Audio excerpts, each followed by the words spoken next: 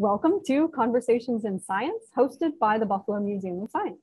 My name is Gabrielle Graham, and I am the Community Partnerships and Adult Programs Manager at the Buffalo Museum of Science. This presentation is recorded and uploaded to our YouTube channel, where we maintain a playlist of all of our past Conversations in Science for people to come back and revisit. So if you enjoy this video, please consider sharing it with your friends and family. You can use the chat function throughout the program to send questions to your hosts that's myself, Casey, and Joe. You can also use the hand raise function to ask a question at the end. Um, feel free to use questions in the chat throughout the presentation, and we can relay those to our speaker. Originally, these programs were held at the museum with conversations at the end, um, but really this program has had a much longer lifetime in the virtual sphere. So we are very pleased to be able to bring it to you here virtually today. We'd like to thank RP Oak Hill Building Company for their continued support and presenting sponsorship of Conversations in Science. And it's the support of our sponsors, donors, and members of the museum that enable us to continue our mission and serve our community. So now I am going to unspotlight myself and we are gonna send this over to Casey and Joe. You've got the floor, Joe, if you would like to begin the slides. Oh, so again, it's Gabrielle. Uh, I am the Community Partnerships and Adult Programs Manager for the Buffalo Museum of Science. We'll pass to Casey. Hi, everybody. My name is Casey. I'm the collections manager here at the Buffalo Museum of Science. I have been working here since 2011, and I'm happy to be here tonight. So without further ado, we're going to go to our presenter, Joe Butch. Joe Butch. I've been involved indirectly with the museum actually since the 60s. Uh, this book, The Geology of Erie County, is a very famous uh, Buffalo Museum of Science publication. I'm very fortunate. Irving Tesmer was my undergraduate advisor at Buffalo State in the 60s, and Edward Buehler was my graduate advisor at UB in the 70s. This book uh, has a um, geologic map of Erie County, New York. This is a bedrock geology each uh, color on the map represents a, uh, a, uh, a for geologic formation that's uh, close to the surface in that particular area.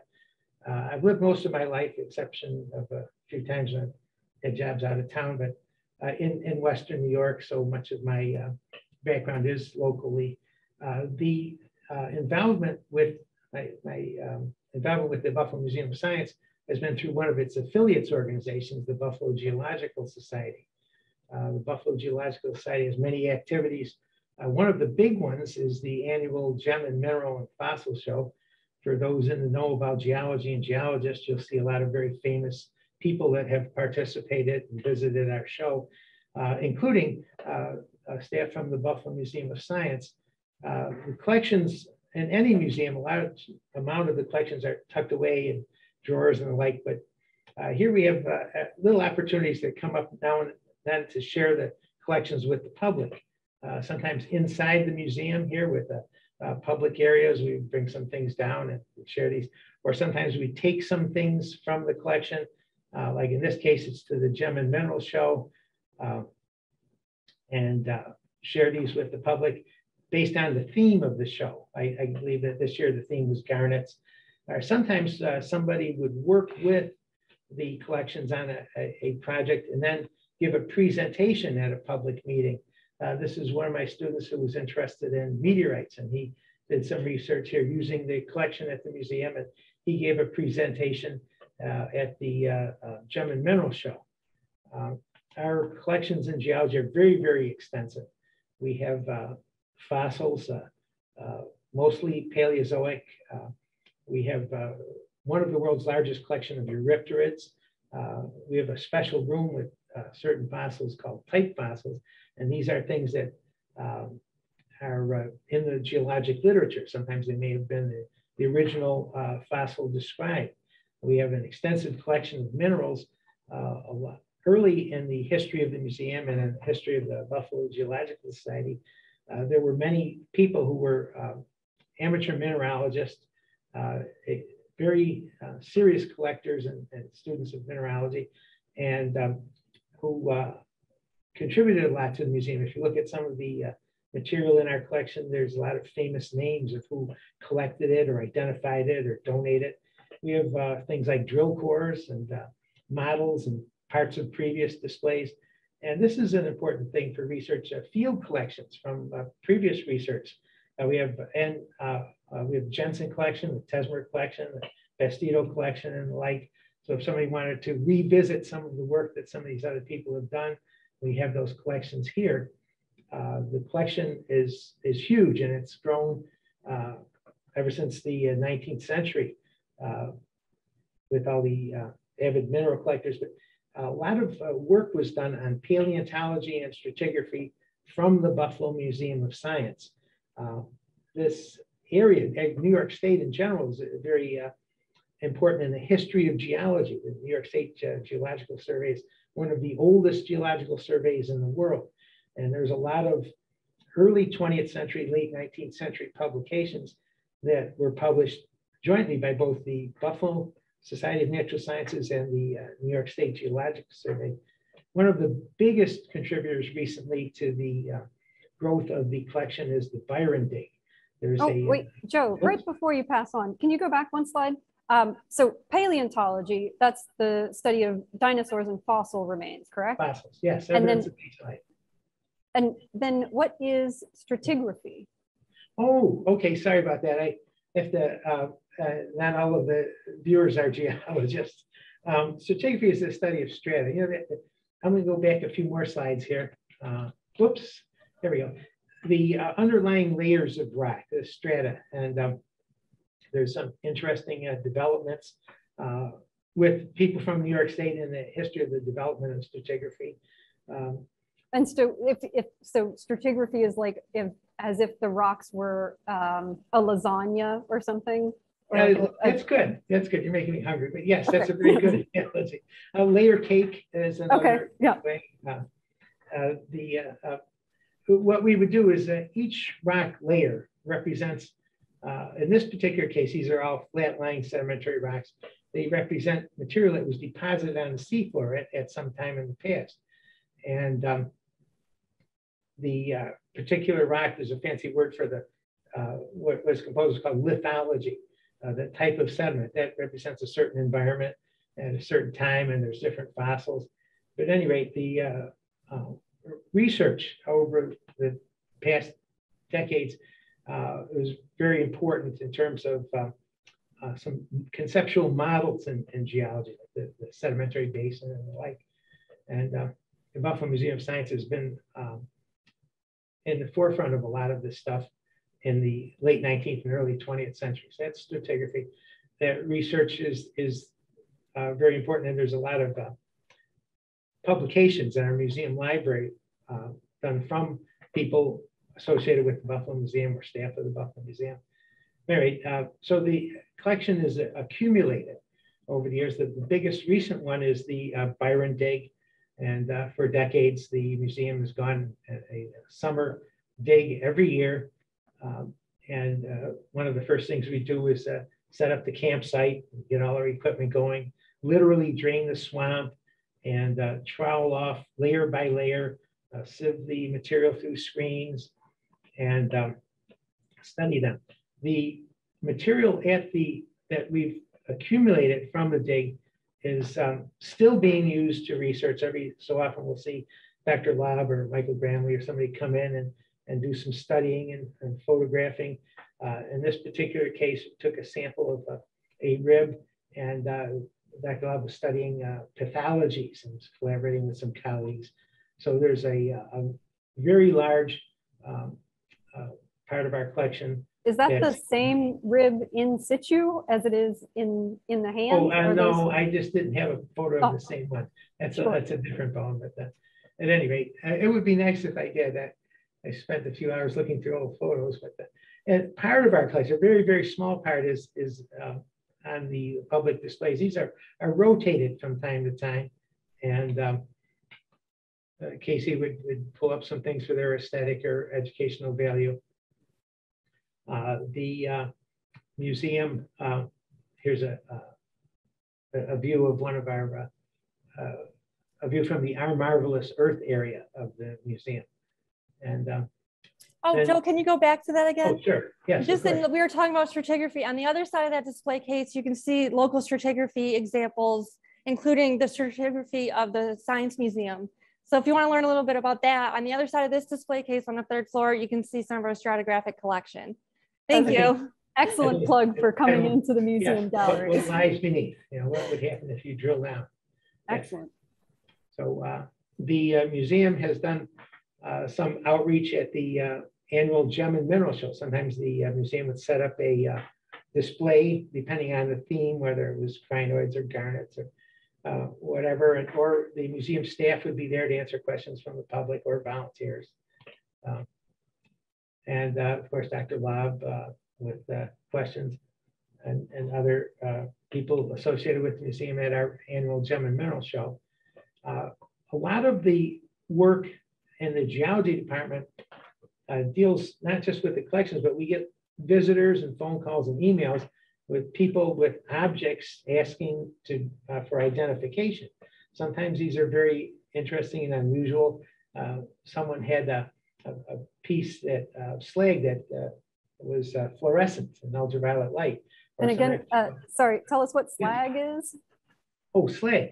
Okay, from um, in the manufacture of iron, if you mixed iron ore with limestone and put it in a uh, big furnace and heated it up, uh, what would happen is the iron would settle to the bottom and the um, limestone would combine with other uh, impurities in the iron ore and float to the top and form like a froth. And so there's this, um, uh, oh, uh, the uh, iron uh, manufacturing, steel manufacturing process produces a lot of this material. It's a, it's a, a porous, holy material um, called slag. And uh, sometimes, uh, in this particular case, uh, someone sent in photographs of a piece of slag that fluoresced in ultraviolet light. Or uh, sometimes people would have fossils or buy fossils or find fossils uh, from a, a estate sale or something, or artifacts. uh, and they'd ask us to identify them. Uh, sometimes they'd find something unusual like sedimentary structures, uh, minerals. As a matter of fact, this, this is from, actually today, somebody found this along the beach and it's a piece of pewter. Uh, concretions are an important uh, thing. Um, sometimes people will find objects and they'll wonder if this is important or they'll have an interpretation. Oftentimes people will find uh, pieces of slag and think they're meteorites. Uh, one time we did have a visitor that came in with an actual um, meteorite. And uh, Yes, I was sorry to interrupt. I was just gonna Yeah. say, um, we have, we have, um, a lot of people coming in thinking that they found a meteorite and usually, as Joe said, it's some kind of industrial runoff that we have a lot in the city because of our industrial past. But, um, there was one person, I'll let Joe finish the story, where we do believe we had an actual meteorite come through our building. And, and and that all the criteria, and sure enough, I uh, gave her uh, Scott McKenzie, uh, who's uh, with the, um, in Erie, Pennsylvania, with Mercyhurst College, and he's got a, a, a very large collection of meteorites, and um, I referred her to him for more information, but uh, that's uh, uh, something that people uh, will find objects and then bring them into the museum and say, what is this? Uh, Sometimes we get, you know, teeth or bones or uh, things like that. This is, um, I'll talk a little bit about volunteers at the museum. We, vol- volunteers would work behind the scenes, curating the collection, doing things like uh, cataloging and, and uh, maintaining and repairing and uh, uh, identifying and that kind of type of thing. One big part of uh, activity for volunteers is photographing material. The research collections have um, what, what, well, would call a pedigree. You have information about the material. Uh, It may or may not have been in some publication, but we would want to know the locality and an identification and uh, other information about it. Uh, We have right now a uh, database uh, for the museum. It's called Past Perfect that allows us to enter photographic information as well as all kinds of other information. We have other databases of uh, uh, spreadsheets on Excel and Access and, and the like of museum collections. The, the big thing right now is the photographing and documenting and measuring and describing uh, material. Oftentimes, um, uh, well, we have, uh, this is uh, Mike Grenier, who's uh, photographing some material for one of Dr. Laub's publications. This is a a coral, it's on its side here, that was collected by Carl Brett, one of the world's leading paleontologists, in the, when he was a young man, from what is now Penn Dixie Quarry. And And we have uh, some, uh, I just want to give a quick shout yeah, out. We've yeah. got some people from Penn-Dixie Fossil Park and Nature Yes. Reserve uh, in the meeting today. We're so glad that they joined us. We love our partners down in Hamburg. And this core was, was cleaned in the museum. um, And uh, alternate wetting and drying with, with uh, desiccants and like, we- we remove the shale and you get to see the uh, carbonate fossil underneath. This coral has a crinoid holdfast on it. Uh, Years ago, with a lot of collections, what they would do is uh, scrape off the, uh, what we call epifauna and other things. But now we're interested in the, the ecology of the whole specimen. I had an intern who was a, uh, a combat photographer for the Marines, and he was familiar with the camera equipment that the museum has, and he took some really excellent photos for us. Here's one of a uh, Herkimer diamond. Um, The, uh, we had some volunteers clean these things up and uh, um, and interns and, and write up a report. I had some, uh, an intern uh, who needed a couple extra credit hours to graduate. So he, he, I think it was either one or two credit hours. He wrote up a report on the Little Falls Dolostone uh, with the Herkimer Diamonds and gave a presentation at the, uh, um, from the Buffalo Museum of Science's table at the uh, Gem and Mineral Show that year. Um, this is one of his photographs. It's really pretty. Uh, Sometimes we'll photograph all different kinds of things. Uh, Dr. Laub had a collection of uh, Devonian coral from the center field of uh, central New York. And he wanted me to identify some of these. So what we did was um, took some things and what we'll do, we'll take a, I don't know if this shows up on the camera, but I'll, I'll come back again later. Cut a rock with a rock saw and uh, take a, a piece of the rock and glue it to a glass slide and then grind it down so thin that we could see light through it. And this is called a thin section. Uh, Not a thin slice. A thin slice is in the deli. This is a thin section. And we would identify uh, materials. Um, uh, We have uh, different insect traps in the museum and uh, uh, sometimes museum staff will want us to uh, photograph a bug with our digital uh, camera on the microscope. And Yeah, I'll uh, just like, Right. I'll cut in again real quick. That's for me. I have to take care of our uh, pest traps at the museum. And if there's a bug I don't recognize, Joe helps me photograph it with his microscope so we can upload it to a website.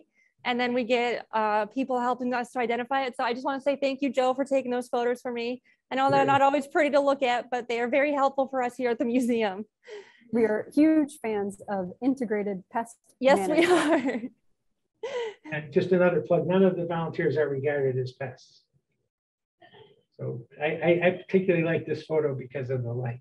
But photography is very important in terms of volunteer activity.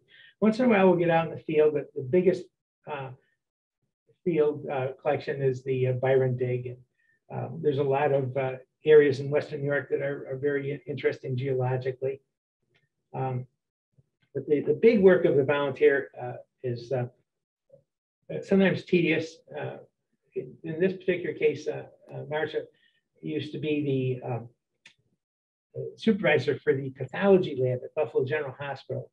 And uh, she was here for a good number of years, uh, cleaning mud off of little tiny bones, big bones. And oftentimes with this bone, she could tell you where in the body the bone came from, and many times from what animal it came from. So uh, we would uh, uh, do the uh, field uh, season in summer and then all the rest of the year working on cleaning and, and identifying and uh, cataloging the uh, specimens. Uh, sometimes do some work in the lab. We have a little uh, petrology lab here.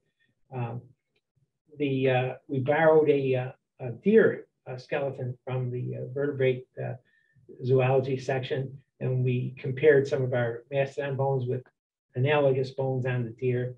Uh, uh, right now, a number of volunteers are um, doing an inventory of the collection and um, uh, updating uh, databases. And uh, so, uh, Casey, you want to talk a little bit more about your volunteers? Sure. I just want to first say about, you know, interning here as well. When you do come here, we try to find your strengths and your interests and cater to that. And Joe has been amazing at that. When he gets a new intern here, he really finds what they're interested in, what they're good at, and what they want to do. And he creates the perfect project for them to do using our collection. So we appreciate, you know, everything that the interns do for us and all the work that gets done because of them. And as for the volunteers, as I said, I've been here since 2011. And um, that's when I started mostly working in the geology department. And that is when I met all the geology volunteers. And so since then, I have been working with the volunteers, a regular group that comes in every Monday. Um, they come in all day and they do different projects in our collection. Small things can be like rehousing some things, uh, clearing up, you know, clearing up storage space, uh, creating space for some of our collection. Um, one of the larger projects they did in the past was organizing and catalog the David Jensen collection, which is a big collection for us, mostly of mineral art.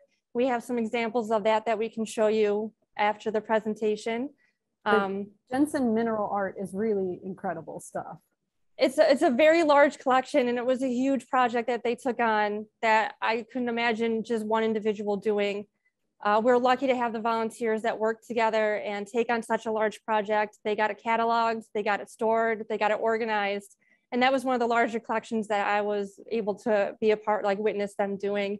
Um, smaller projects include maybe some light cataloging if we get a, a donation that just came in. They catalog it, they identify it, they put it in specimen boxes with specimen cards with all the information on it, just to keep our collection organized and easily um, uh, interpreted, which is also very important to us. And currently, the largest project they're working on is an, uh, an inventory project, starting with our mineral collection. They're going through our database, checking all the information to see that it's accurate as they pull out the specimens, adding uh, location, status, anything like that. And then in the future, we'll add photography to it. So again, you know, they come in every Monday. They've been here longer than I have. And I don't, for me, like Mondays are my favorite day of the week because you can't be sad or, or too tired when you have all these volunteers coming in that are excited to be there and doing some of the best work. Um, our volunteer program here is amazing. We rely a lot on all the volunteers in all different departments and we're very thankful to have them.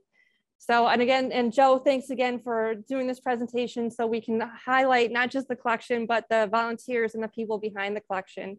So thank you, and I'll turn it back over to you, Joe. I'm just going to chime in right before Joe gets started and say that one of the things that I love about the volunteers that we have and the history of the Buffalo Society of Natural Sciences is that the society that we're a part of was founded on amateur interest and passions. And to have that continued through the fabric of our history is just really heartwarming because there's so many times that people say, oh, science isn't for me, but even just having a passing interest and a curiosity can get you into the really um, worthwhile projects that enable us to share knowledge over decades. Um, so just, it's something that we couldn't do without. And any time, any chance we get to brag about our volunteers and everything they do for the museum and how much they mean to us, we're going to do it. So thank you guys. That would summarize a, some of the kinds of things that interns do with an intern, we'd, we'd get college credit and also would contribute to the museum. Uh, I sort of categorize some of the things they're doing, like working on specific objects or collections of objects that contribute their skills or doing research in a topic of interest to them or lab work here to supplement some of their, their work at, uh, in, a, um, in their classes at Buffalo State.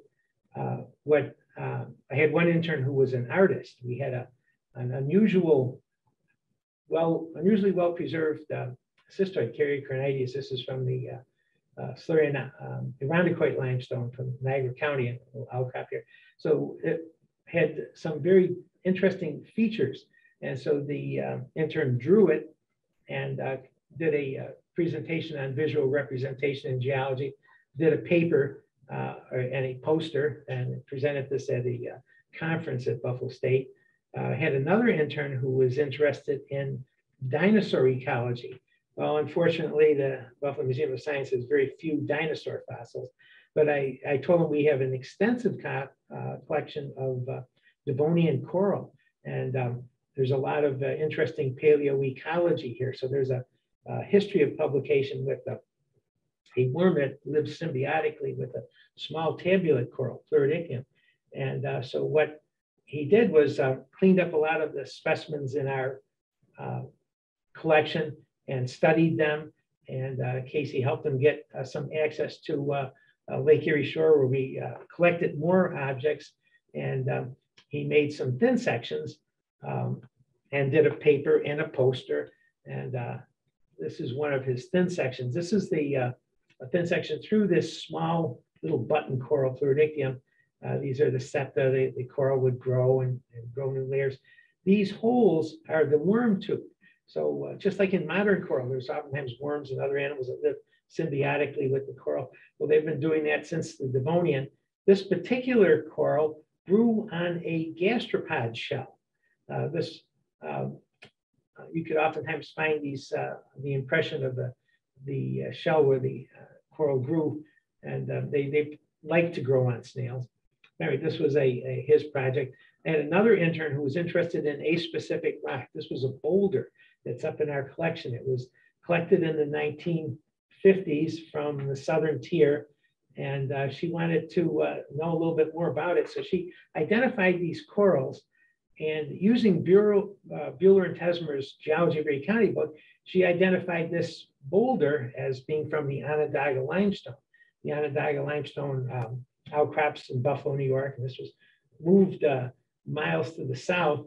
And so uh, from this, you could reconstruct the history. And then the uh, most likely explanation is that this was moved south by the glaciers. And this was buried in soil for God knows how many years. And the acidity of the soil uh, ate away at the matrix faster than the corals, making the corals stand out in relief. Uh, so she did a nice paper on that. That is a Um, really striking boulder. yes. I mean, it it looks like uh, kind of the composites that you see in textbooks in order to show the diversity of an area. Um, but it's it's all there naturally collected and and the atmospheric impact of the acidic soil really did us a favor. A lot of work that would have been done by hand otherwise to reveal those coral specimens. That's that's really incredible. I've not seen this in person, obviously. I We'll am take you bold over. I gotta come upstairs and go see the behind the scenes tour. Well, there's a lot of old buildings around that were quarried uh, 150 years ago, 100 years ago, and uh, with uh, from uh, quarries in the Onondaga. And over the decades, uh, just the differential erosion between the fossil and the matrix has caused a lot of these fossils to come out. Uh, sometimes even on old stone walls, you know, the, the slow weathering over many, many years just eats away at the matrix faster than the fossil. And, and that depends on, on the, the fossilization in the rock, but in this particular case, it did that very well. So she contributed a lot of information about this particular specimen, and uh, there's more work that could be done. Um, I had an intern who was interested in um, carbonate concretions. And another intern and one of the volunteers who were interested in fluorescent minerals. So they went through the collection and with the ultraviolet light and turned off the lights from time to time and made a list of what minerals and uh, where they're located that, that catalog. That had another intern who was interested in um, uh, astrophysics. Uh, he uh, uh, was in, uh, working on cataloging our meteorite collection. And he gave a presentation. I think he's in one of those earlier photos. And um, do I have time to tell an extra story? A little diversion. Yeah, so we're Okay, at the halfway so- mark for our program. So we've got uh, some good conversation time and Yeah, we still have plenty this- of time for show and tell. This young man is from the, uh, one of my foreign students, he's from the Ivory Coast, and his native language is French. And um, I told him, well, you know, Buffalo, the uh, word buffalo comes, the first Europeans come here were French, and the word buffalo comes from the, they called the Niagara River Beau Fleuve, and um, beautiful river.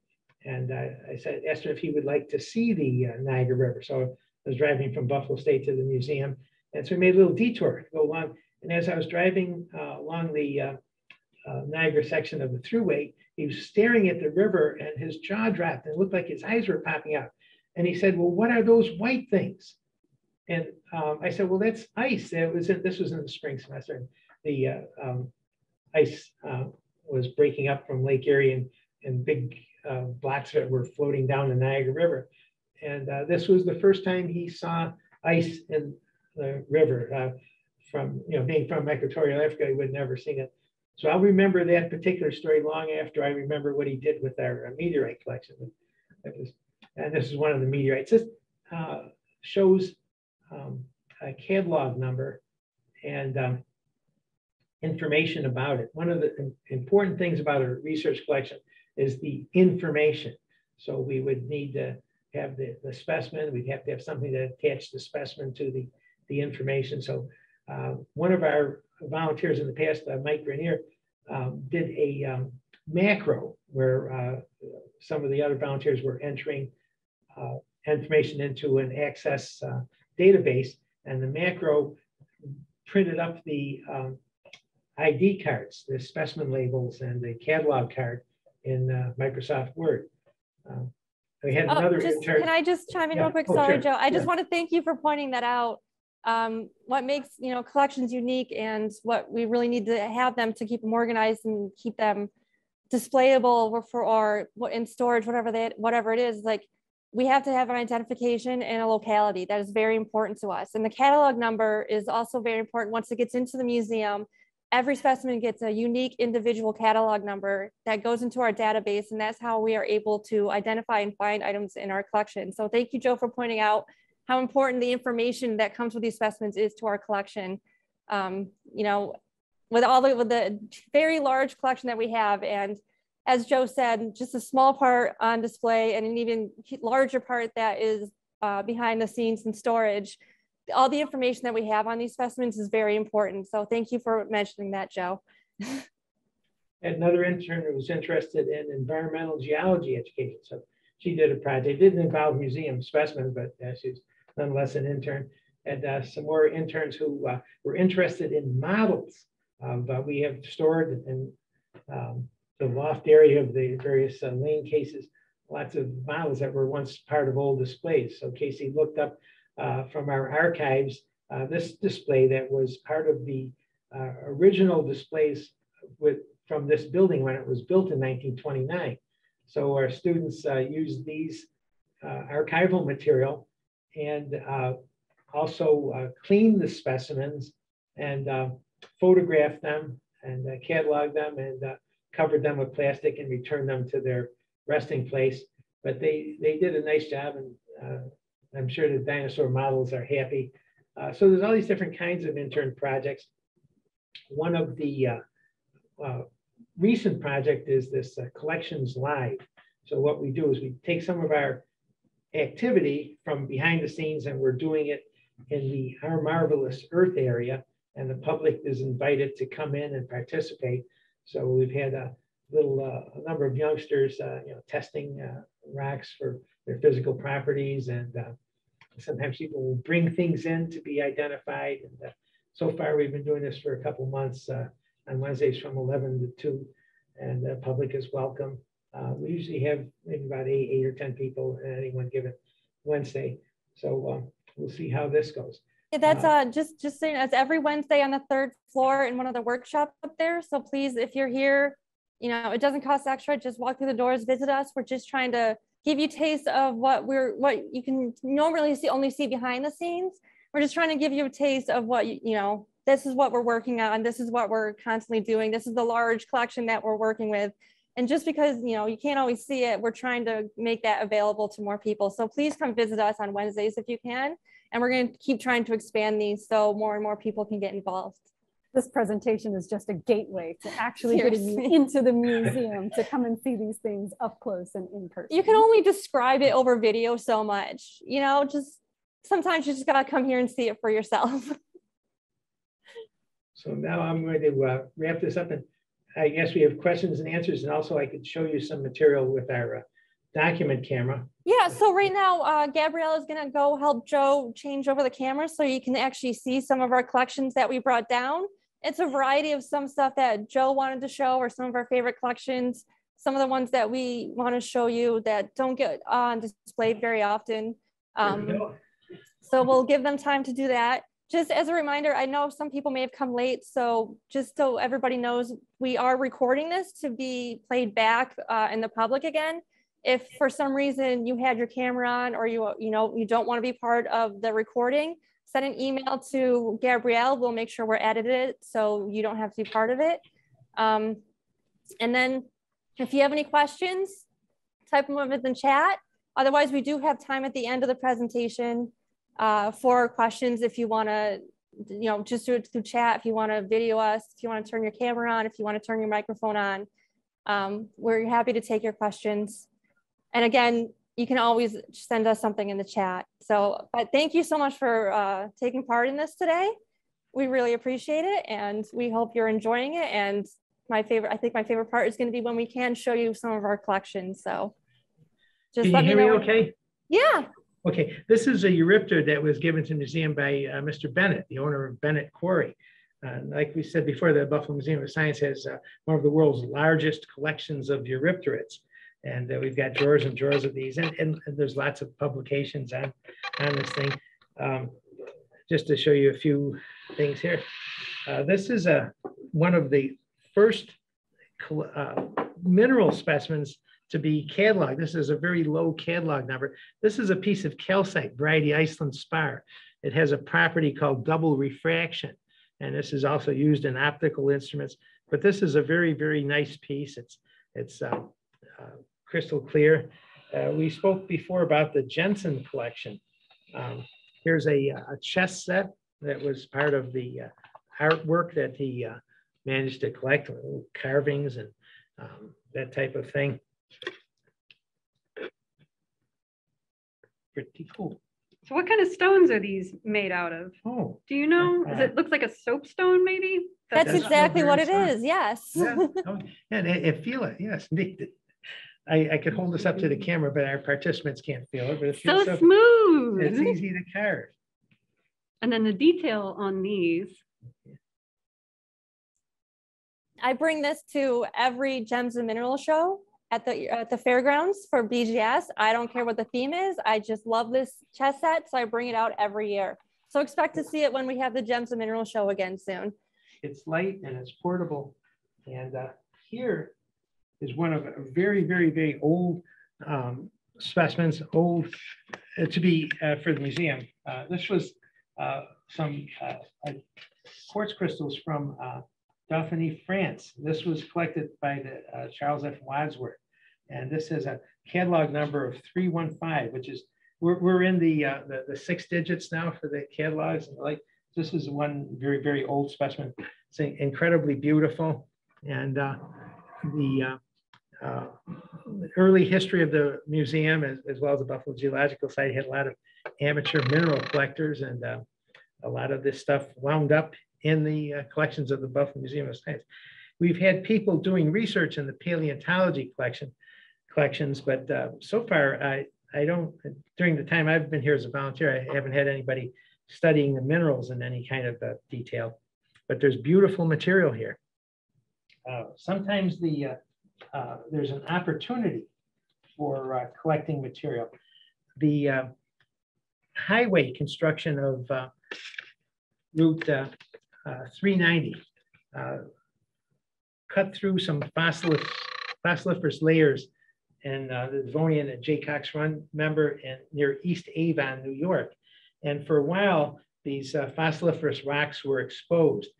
There's a a local collector, Jerry Clack, who uh, collected voluminous amounts of material, uh, shale, and then uh, uh, took the shale and removed, took these materials and removed the shale from the carbonate fossils. And You do this by uh, boiling them for hours and hours in a very, very strong soap.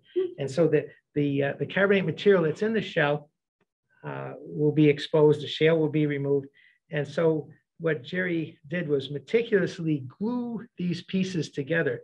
I'm not sure about the uh, uh, focus here, but this is a, uh, a um, branching coral, it's a, a tabulate coral with uh, some bryozoa on it, growing on it, and a horn coral growing on it.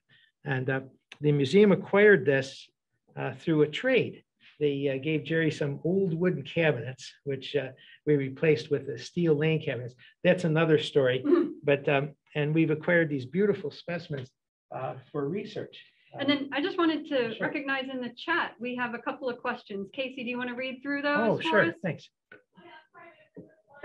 Mute. Yeah, I've been replying to them on there, but this will be easier to do this. Um, so we had a question about the low catalog number. So basically, when we give a cat, we give a specimen a catalog number, it goes like in sequentially. We start at one. So if we have a mineral, it's like it starts with a D and then it's giving a number. And we, like we said, we start at one. The calcite, I think it was five. Is that right, Joe? Oh, see if I can find it here. Yeah, D five, wow, it was one of the first. uh, Yeah. materials we cataloged. And um, so currently we are up to five digits in our mineral database. So that gives you an idea how many we have. And again, the ones with the lowest numbers are going to be some of the first that we, maybe not necessarily the first that we collected or for the institution, but one of the first that we gave a, a number to. So it would still be a very old uh, collection item that we have here. And then there was, uh, sorry, one about the meteorite. So I know on the specimen card, you saw the number P1911. That is the catalog number. The other number that was written on the rock, 4410, it probably refers to an accession number. So on specimens, we can have both the catalog number and the accession number. The accession number will usually refer to a year that we received it and what number from that year it was uh, accessioned into our collection. So some specimens have more numbers associated with them than others. Thank you for the questions. That's a great question and a very good point to make. Which number am I looking at and what format should I be looking at? And what does it mean? And here's some more coral that was uh, collected and prepped by uh, Jerry Clark. It- I wanted to point out a lot of the work in museums is very slow, very tedious, involves many, many hours. um, Like in the preparation of specimens, or sometimes it's uh, repetitious, like in, in cataloging. But uh, on the other hand, it's very exciting because we're discovering a lot of very new things. The, um, with this kind of thing, we could reconstruct the history of the coral when, when it fell and when something else attached to it. and that, um, that kind of thing. We have here a uh, model. uh, See if I could get this in the doc cam. Well, while you're doing that, I just want to say we have another question um, that the Sure. collection started before the museum was even built, and that is absolutely right. Uh, we started as a society, a society in 1861, and we didn't have this building until 1929 is when it opened. So, Pete, like Joe said, we had amateur collectors, people collecting for hobbies. So, a lot of this collection started before we even had a permanent place to store it. Uh, some of the places we would display things that would include the banks and libraries that we have here. Um, so once we had this permanent location, we had permanent storage for all these collections that people were collecting. And so we became a housing place for all the collection. And now we, it's our job to take care of it, keep it safe, preserve it, and make sure it lasts longer th- than all of we do into the future. So thank you for that question. From uh, the uh, fossils, sometimes it, they're a thin uh, film on a uh. Uh, We, uh, artists could reconstruct what the animal looked like when it was alive. So tucked away in various places and from previous displays, there's a number of different models, like from the Silurian Sea, we have this pterodactyl and uh, a beautiful, beautiful model. The models themselves are works of art. And sometimes they, they may have been forgotten. Um, see, I'll swim him along over here so you can see, see more of him. But we've had um, some famous uh, artists in the museum uh, making models of specimens in the geology collection and, and elsewhere in the museum. I'm gonna Do those live. So, Did you want to get the thin film? oh, uh, let's see what else we could do. Oh yeah, can you show them the thin sections that the intern was working on? Right. So this was my intern that was doing a uh, uh, paleoecology study. So we had some, uh, I don't know how, how well this focuses. Uh, If I go like this. There you go. So we did is he collected material from Lake Erie shore and uh, we cut this on the rock saw. uh, Polished down the surface. This has one of these pleurodictyum corals in it and uh, cut off a slice and glued it to the glass slide. So here um, that I showed you the slide that was made from the piece that was attached to it. So here's the uh, the coral, there's the gastropod and another gastropod. Gastropod is a fancy word for snail. So what we do is, just want to hold it sideways so we can see how thick that oh, yeah, so what we would do is take this, glue it to a glass side, and then uh, put this on a machine and cut another slice from it and just grind it down. So I don't have the, the slide that Nate used, but here's another slide from uh, one of Dr. Laub's corals. Um, Oh, and we can put a light underneath that. Oh, that would be cool. Let's see. I don't, uh, avert your eyes just in case. oh, Oh, that so- looks awesome. And so we have lots of these uh, photographs of uh, thin sections and we put the number on the slide. Um, Yeah, there we go. Now Joe and I will have to adjust our eyes. Yes. That was really effective. Yeah.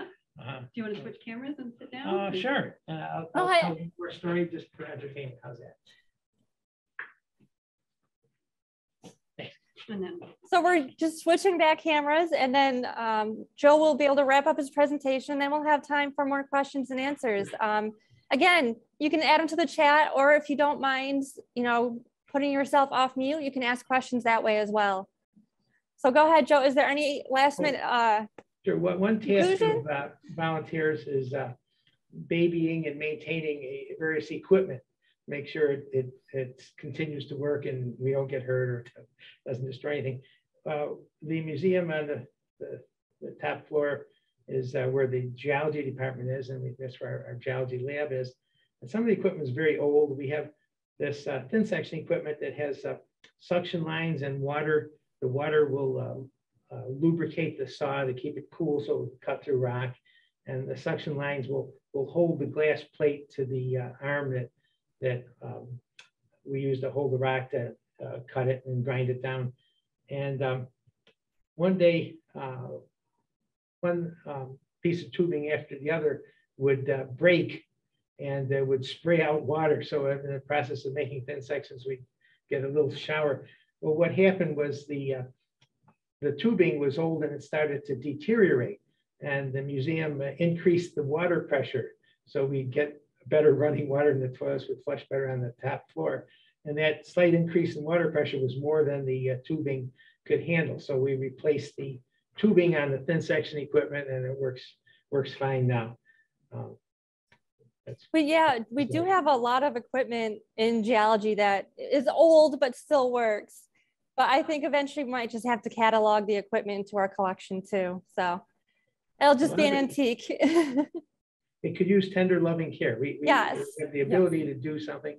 Uh, so here's a, an opportunity for a volunteer or intern if they were uh, so inclined, uh, uh, mechanically uh, talented and, and creative. I could work with uh, some of our equipment.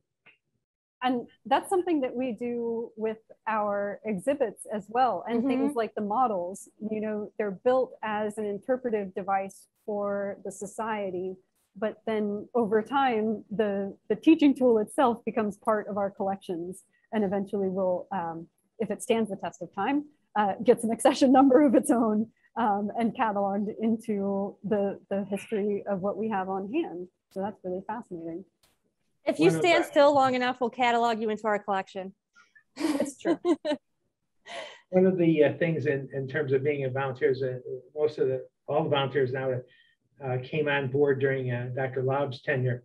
And he was uh, very, very fussy about um, instructing the volunteers on how to do things. And uh, uh, the museum wants us to uh, be very familiar with all of the equipment and the safety uh, rules involved. And so uh, before we uh, use anything, uh, so uh, I had uh, oh. some familiarity with this from working with uh, um, at at, uh, be in Buffalo State with uh, similar kinds of equipment. We have a question from Catherine. She says, Joe, what does your personal collection look like? I feel like it's I feel like it's collection. very large or minimal. So what's your Okay, personal collection well, like? First of all, there, there's a distinction made between the professional geologist and the collector. And I've always said I'm not really a collector. I do have boxes and boxes of rocks in the basement. I'm- bring things home and people will go places and they would give me rocks. Uh, but I, I am not, not much of a, a a collector, even though I do have a basement full of rocks. Uh, uh, You- You're an acquirer. but you're not Yes. collecting. Yes. I think it sounds like people assume that you would want it, so they just give it to you. Oh, I, I really love it. You know, people would go on trips, hunting trips, fishing trips, or travel, and then bring me back a, a rock from this place or that. And so, I, yes, I do have a collection of rocks, but uh, I, if I were to regard myself as a collector, I'm a collector of books. I, I like uh, books. I have a lot of books at home. That's how you know. That's how we get some of our collection here too. Some people take a walk through uh, different parks or through TIFT and they find something It's like, hey, do you want this? And sometimes we will take it. So that's how the museum gets some of its collection as well. It sounds like there might be a divide between uh, people that acquire physical items and people that catalog the physical items that they require. Um, I definitely have a lot of things, but the, the catalog is all mental. And so if, if someone were to come through my house and look at the natural history collections that I have, they would not be able to tell at a glance what they are because nothing is labeled. I don't think the distinction between the collector and the professional geologist is, is valid. We've had some um, professional geologists that were also collectors, and uh, and there's a lot of professional geologists that aren't collectors. Yeah, it's kind of an arbitrary distinction of do you get paid to do the thing that you love, or do you just do the thing that you love and get paid in some other way? And it doesn't really diminish your expertise either way. Um, so that's an interesting way of framing it too. You know, what is professionalism in this? In this There's a distinction in the vocabulary that we use. The geologist will oftentimes use technically precise terms, and maybe a, a collector might use other terms, or a lapidary artist would use other terms. Uh, uh, I, I, don't like it when people don't talk geology, like when they'll call a, a countertop granite and it's really not granite, or someone will call shale slate, that type of thing. Uh, but uh, that's just me. I, differences, yeah, differences in jargon. During, yeah. yeah well, when this, you know, you know. Yeah, doing this presentation, you guys are translating from geology to English. So. That's true. yes. Um, I'm just going to put a link in the chat for feedback. Um, if you have a few minutes to complete that today, that would be really wonderful. We still do have eight minutes left in our program time. Um, so if anyone has any additional questions for Joe or for Casey or for myself, um, we would love to hear them. I'm sort of hoping that we'll get some volunteers in the future that are uh, very knowledgeable in uh, minerals and mineralogy. Uh, uh most of us have a, a, good working knowledge of common rocks and minerals, but there's a lot of uh, very unusual things in our collection. Um, a lot of the uh, volunteers have a, a, good feel for paleontology and fossils. Yeah, yes. Oh, Catherine? Oh, you want to volunteer? Yeah. Oh, uh, yeah, maybe in the winter time. We'd um, love to um, have you back. um, Joe, eh, I, I, because I kind of know this answer with Gabrielle, but Joe and Casey, what got you guys interested in natural sciences, like you know, geology or paleontology uh, initially? Like, how old were you, and when did you first get interested in the science? Joe, do you want to take it first? Oh, okay. I was a uh, uh, child. That, we grew up on the west side of Buffalo. It was a low income community and uh, worked. Uh, uh, I would oftentimes play uh, outside, and we would, you know, look at sticks and stones and trees and stuff like that. sort of different from other children that were blessed with huge amounts of toys and stuff. So I was always uh, interested. It was just such a refreshing thing to, you know, to be outdoors. Uh, you know, when, when I was a, a, little kid, you know, you wanted to be a, uh, a fireman or a cowboy. And then uh, uh, at one time I wanted to uh, be a super scientist like Dr. Zarkov in the Flash Gordon movies. But then when I was in, in college, I decided you know, to be a geology major. I was always interested in geology. It's a special appeal. Geologists are special people they like science and the outdoors. It's a winning combination. That's um, great. Yeah. As for me, I actually my background wasn't in geology. I uh, I grew up. My uh, my dad was a is a geologist, retired now, but you know I grew up with him traveling all over the world, going to different places. Ge- you know, he's a geological engineer, and sometimes he would come back with like different specimens. I remember we had a nice collection of quartz in our in our house so he would also come back with some of that stuff as well. So I kind of grew up with that in the background, but it did give me an interest in basically the world around me. Uh, my background is actually in museum studies and anthropology. So that's where I started my studies was in anthropology, just a curiosity of the world and the culture and, you know, where we live. And when I got to the, when, so then my, I focused more into museum studies and that's how I got here into the Science Museum after doing an internship and some volunteering. Um, that's how I got into the museum and into the collections department where I mostly work behind the scenes. And, you know, aside, you know, most of my uh, work is in geology right now, but my job is to take care of all the collections on and off display. And I feel very lucky that I get to work with such a lovely collection. And from because I'm not a collector, I, I do not collect.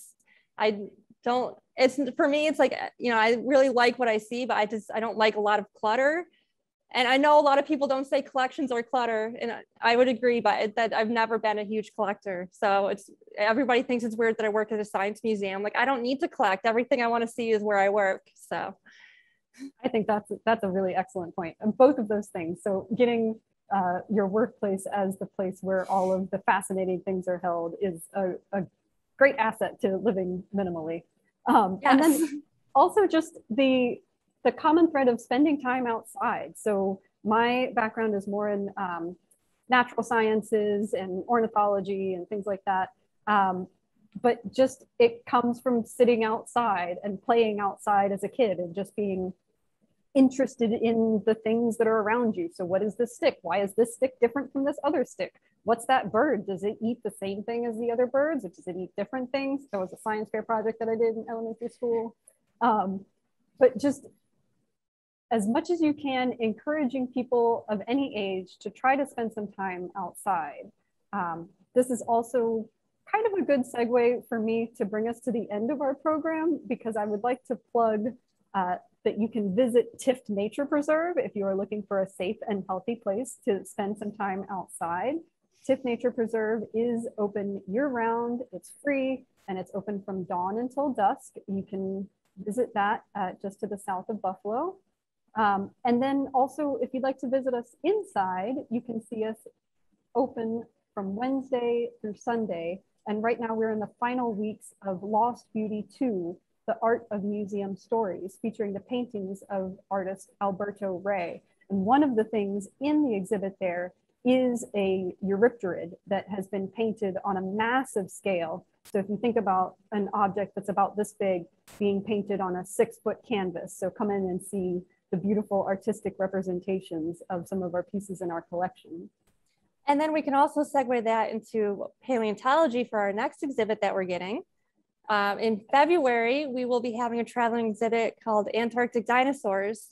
So we'll be bringing, you know, come see that. We'll have an amazing display on there. And um, yeah, you know, it's a great way to end our paleontology talk and our geology talk that we're going to have an amazing geology exhibit coming to our museum in the future and also our next conversations in science. So you can find them on our website. Um, the links are in the chat at sciencebuff.org forward slash programs forward slash conversation hyphen in hyphen science. Um, but our next one in January is going to be all about Antarctic science. And so we'll talk a little bit about what those, uh, I have two geologists that were studying in Antarctica and they'll be able to share their experiences um, living in Antarctica and also what their work was like with the geology cores that they drilled there through the Antarctic Research Facility. So if you like rocks and you like being cold, you might live in Buffalo. Come back to the next Conversations in Science. Thank you so much for being here today. Thank you everybody for joining us. Thank you, Joe. Thank you. Take care. Bye guys.